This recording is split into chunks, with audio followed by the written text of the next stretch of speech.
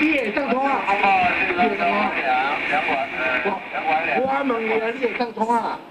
身穿橘色上衣的男子大声对远景咆哮，过程当中手指还不断搓远景的头，行径相当嚣张。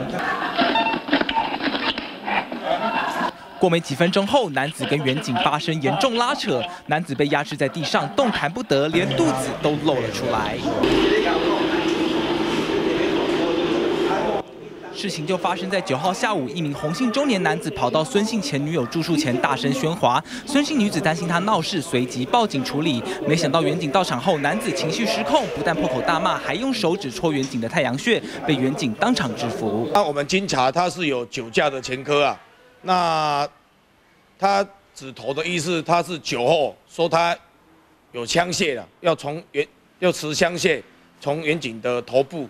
开枪啊！远警将男子带回警局调查，进行酒测后发现他的酒测值竟然高达一点零七。虽然不是酒驾，但酒后做出攻击警察的脱序行为，还是被警方依妨碍公务罪嫌移送。记者高雄综合报道。